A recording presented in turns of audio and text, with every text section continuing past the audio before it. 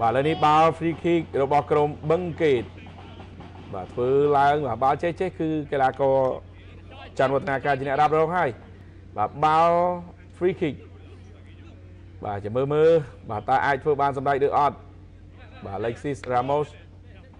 បាទ Fernando Costa Torres បាទបិទធ្វើជារបាំងជាមួយនឹង Timosi Okereke បាទអ្នកចាំទីកំពុងតែសេរីផ្លាក់សេរីមុំ បាទកន្លែងនេះបាទមើលពីក្រោយជិះទៅឃើញពិបាកទាត់ដែរណាបាទឥឡូវចាំមើលមើលតាមច័ន្ទវឌ្ឍនាការអាចធ្វើបានសម្រេចឬអត់សម្រាប់ការទាត់បាល់ free kick កន្លែងនេះបាទបាល់ free kick បន្ទាប់ពី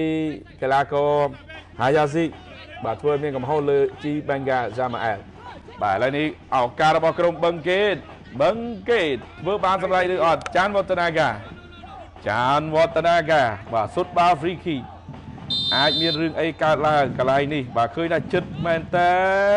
ឱកាសរបស់បឹងកេតចូ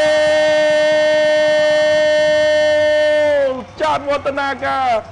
ទីបំផុតបំបីភាពតាមតឹងក្រោយលេងបាន36នាទីដោយការសុតបាល់ free kick យ៉ាងអស្ចារ្យចូលឲ្យបឹងកេតនៅមុខ1ទល់នឹង0ចាន់វឌ្ឍនាការធ្វើបានសម្រេចបាទបន្ទាប់ពី កីឡាករ Hayashi របស់ Tiger ធ្វើមានកំហុសទៅលើ G Bengal Samael អញ្ញាកដាលឲ្យបាល់ពីនៃ11ម៉ែត្រនេះចាន់វឌ្ឍនាការទស្សនារូបភាពឡើងវិញ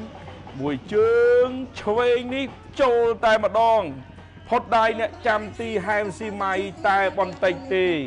បាទអស្ចារ្យសម្រាប់កីឡាករចាន់វឌ្ឍនាការសុទ្ធបញ្ចូលទីឲ្យក្រុមនៅមុខបាទនៅនាទីទី36